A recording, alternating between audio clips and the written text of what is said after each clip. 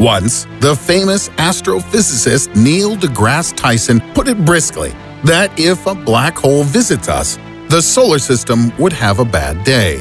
After all, there's hardly anything worse than the ability to be broken into atoms. But we are used to thinking that black holes are somewhere far away, in other parts of the universe. But what if one of them literally appears on our doorstep?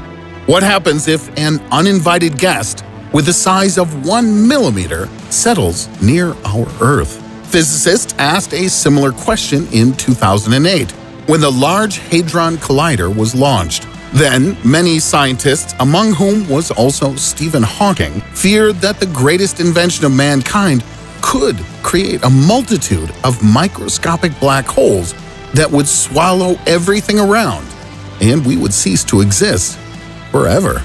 Moreover, these are far from the only problems that were predicted by the opponents of the collider.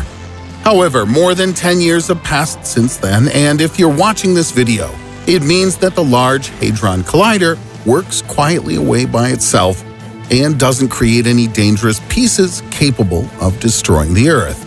Or is that just for now? In fact, to produce a mini black hole, you need 1,015 times more energy than the Large Hadron Collider can withstand.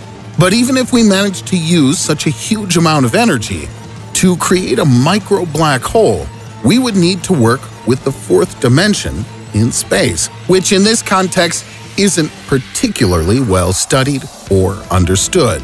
But suppose we miraculously manage to create a microscopic black hole in our limited and wretched 3D world. I hasten to upset those who are looking forward to the apocalypse. It would have to be postponed for some time.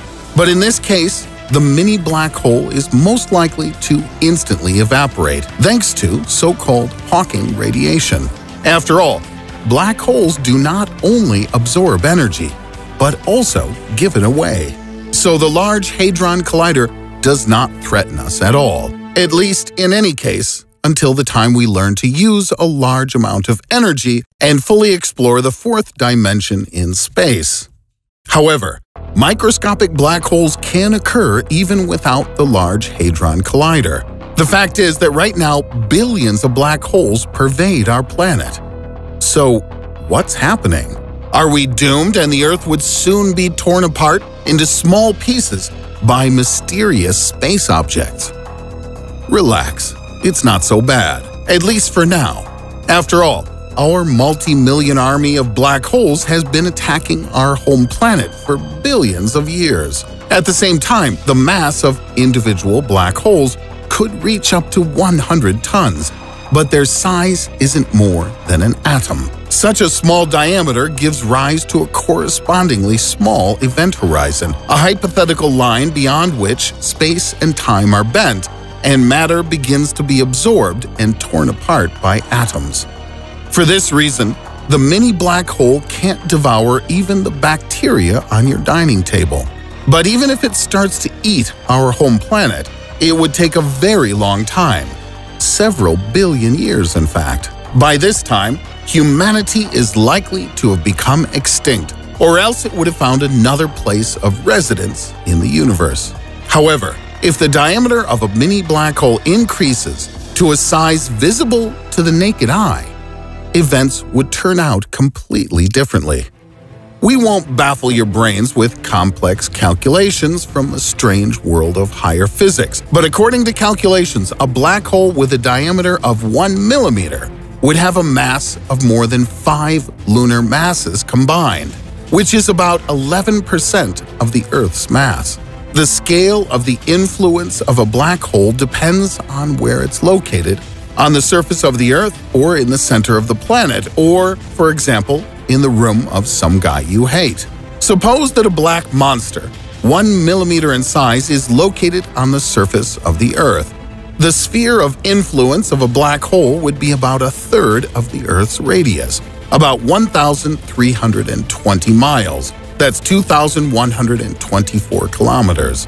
This would lead to a noticeable increase in the overall gravity of the Earth, which in turn would affect the orbit of the Moon.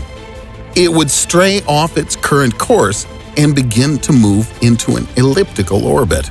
But if the moon only changes its course and remains alive, another and more terrible fate would await us and all matter in close proximity to this monster. If we were close, we wouldn't be torn to pieces, and it would happen so quickly that we wouldn't have time to blink an eye. Having settled with us, the black hole would purposefully move to the center of the Earth, and nothing and no one can stop it. Without common obstacles, it would absorb everything and reach the center of the Earth in just 42 minutes. This insatiable monster passing through the core of the Earth and at about the same time it would reach the other side of the surface. But the black hole, too, wouldn't stand still. If its relative speed is at least 12 kilometers or 7.5 miles per second, it would rotate around the Earth along with its sphere of gravitational influence. With each circle, the Earth would lose mass. Thus, the black hole would begin its meal, absorbing the crust and most of the mantle. It means our complete destruction and destruction of all life on the surface of the Earth. But before absorbing all living things, the black hole smooths out the corners, apparently to make it easier to eat. Thus, the gas would twist into a gravitational spiral, like sugar during the creation of cotton candy, and our planet would turn into just a broken disk of hot stone. The material of the formed disk would produce a lot of heat. It's assumed that it would have a temperature of about 6,000 Kelvin, approximately like the Earth's core or the surface of the Sun. Because the disk would be radiating as if highlighting a black hole, it would be an amazing and at the same time eerie sight. Because a black hole, like a vampire, would suck the radiance of its energy from the planet. Scientists believe that the space monster would take 5 billion years to finally eat our home planet. During this time, the mass of the Earth would increase significantly, but the shape of the planet familiar to us would change beyond recognition. It would probably be similar to the fall of the legendary Pompeii, which was wiped out by burning lava, only on a cosmic scale. In just a few hours, the beautiful and densely populated blue planet would turn into an uninhabited shred of space where only the collapsing crust, lava, and hot gases would reign. Naturally, the disappearance of the Earth wouldn't pass without a trace. The asteroid belt would collapse, which would lead to frequent collisions for a million years in the solar system. To complete chaos, there would be no place for life, which simply becomes impossible.